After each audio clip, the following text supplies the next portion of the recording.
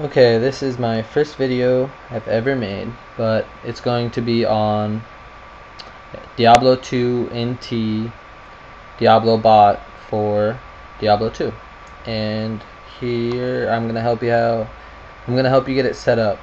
You got to open the folder, copy your JS32 file, and put it in your system32 file, which you could find in your usually in your C drive. And then go to Windows. Scroll down to System32 right there. And just paste it here. Already have it here so. Alright once you get that done go to scripts. Go to libs. And go to config. And then you're gonna have to type in your name of your character. Like maybe I bought underscore hardcore, something like that. I mean, that's not my name. My name is JSR, so I put JSR there. Have to spell it correctly or else it won't run it. Alright. Click on that. Open it with Notepad, by the way. And to make it run something, say you want to run Andy, which is right here under Act 1 Bosses. Just take these two checks away. File save. Now my bot will run Andy.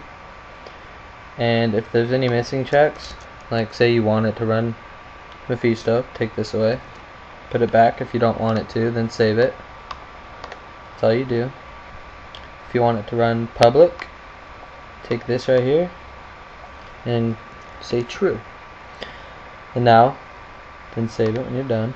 And now it'll run public Baal runs um, your mercenary if you want it to use a mercenary type true? Make sure there's one space right there. True not will work. Um, this is for your inventory. All the zeros it'll keep.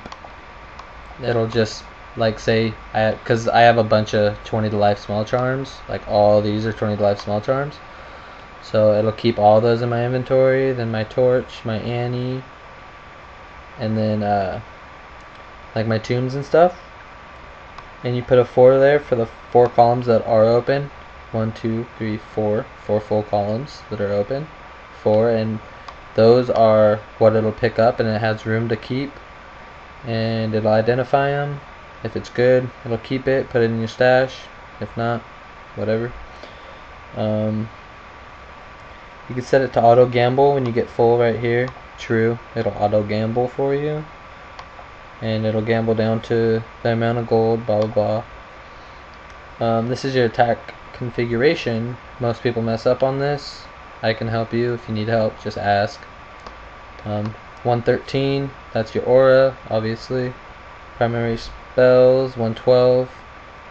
Um, I'll show you where you find those. Go to go back to your uh, libs config and then go to skill IDs scroll down to where it says paladins.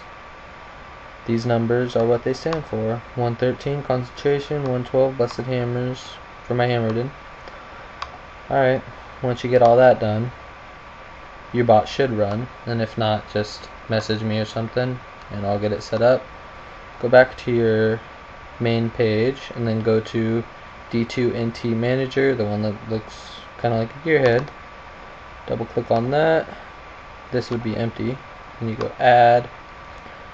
You don't have to type anything specific. I just type in that. Auto detect, position 1, that's my character. Wherever your character is. Say it's the fourth character you made, it'll be number 4. Um, US West is what I use. Just leave it closed BattleNet, it'll do open account name. That's my account name. Room and password. CSR. Blah, whatever. Doesn't really matter. Then hit OK. And, oh yeah. And if you want it to run public, just leave that blank and it'll won't do a password. And then hit save and now it'll always be there. Just hit run type in your password and it should work and if it doesn't it's probably because the script's messed up for your bot. And if you need help, I can help you. I'm not doing any of this. It's doing it all on its own. You can minimize. Go do whatever you want. Minimize mode. No hide. And then open that up. And boom, now it's just running. Um, with the items, go to scripts. Go to settings. Then go to elite. Open it with WordPad or Notepad. This is all the items it'll keep. There's a bunch in here. I mean, I'm not going to take all the time to go through this, but just telling you, just remove that little semicolon thing. If you wanted to keep an item, if you don't want it to keep it, put a semicolon in front of it, and it won't keep it. Alright, that should get you going on exactly how to use a Diablo 2 NT bot.